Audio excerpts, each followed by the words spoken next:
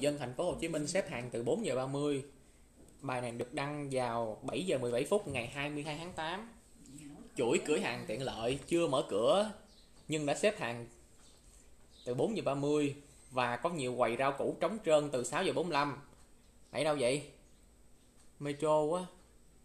Mega Market An Phú 5 giờ 30 sáng mà nó xếp hàng như thế này nè, trời. Ô. Oh. 6 giờ 30 siêu thị này mới bắt đầu đón khách mà đã xếp hàng từ 4 giờ 30 sáng. Trời ơi, sớm dữ. 15 phút trước giờ mở cửa.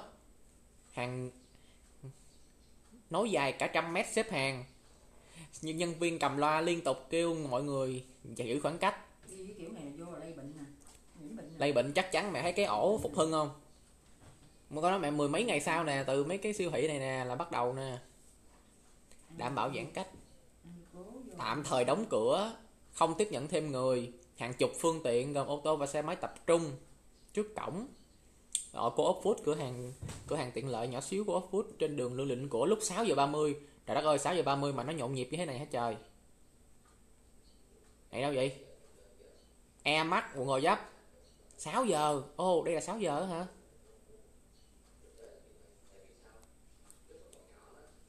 Trời ơi xếp hàng. 7 giờ siêu thị mới mở cổng đổ xô vô. Gì đây? Đậu xếp hạng đâu? Đông dữ vậy? Khoảng 200 người đứng ở trong nữa, chờ siêu thị mở cửa. Rút kinh nghiệm, sáng nay chị đặt báo thức dậy sớm, đến siêu thị lúc 5 giờ 30 đến nơi thì chị đã thấy rất đông người. Trời ơi, gian hàng rau củ nè. Trong tủ lạnh. 6 giờ 45 mà như thế này. Ô oh. Nhân viên cho biết siêu thị mở cửa từ 6 giờ. Hết thịt và rau do hàng mới chưa kịp về. Sở Công Thương khẳng định mọi hoạt động mua bán vẫn diễn ra bình thường.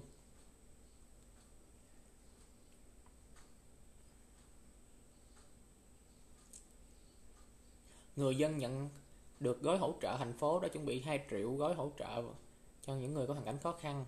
Người dân chỉ cần ra lấy phần lương thực thực phẩm mỗi tuần một lần với người có hoàn cảnh khó khăn thì sẽ nhận được gói hỗ trợ như vùng xanh vàng. Ồ, giá thực phẩm tại thành phố Hồ Chí Minh tăng cao nè. Cao là cao như thế nào? Ủa sao màn hình nhỏ xíu vậy? Trời ơi, sau khi biết được ngày 23 tháng 8 siết chặt bắt đầu nó nó nó tăng giá. Ồ, thịt ba rọi sườn non. Mấy hôm trước chỉ 150.000 đến 160.000. Hôm nay tăng vọt lên hai cái gì?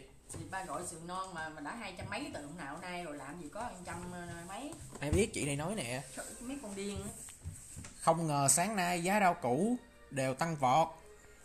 Tôi mua ba trái bí, một trái bầu và giật mình khi báo giá 94 nghìn. Trời ơi mày coi cái này hồi hồi năng ngày nào Trời ơi, mới 7 phút trước nè. Ô, mấy cái con điên này nó đăng tầm bậy tầm bạ đó hay đã đã trong siêu thị rồi nó bán từ hôm nay là ba cái thịt ba gọi sườn non là hai trăm mấy rồi.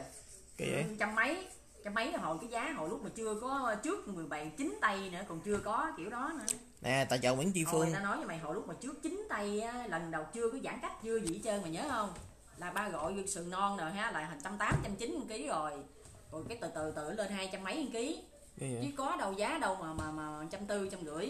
Nè, sườn non hai Điên. sườn non 270, ba rọi 220, nạc vai ba, 100 ba, là cái giá này giá bình thường không có lên. 170, khoai môn 50, đậu que 40, xà lách 50. đó đậu que 40 là ngày xưa đi thật trước đi chợ mẹ cũng đi 40 rồi. Mấy cái này cái giá này giá đó ổn định bình thường từ đó giờ rồi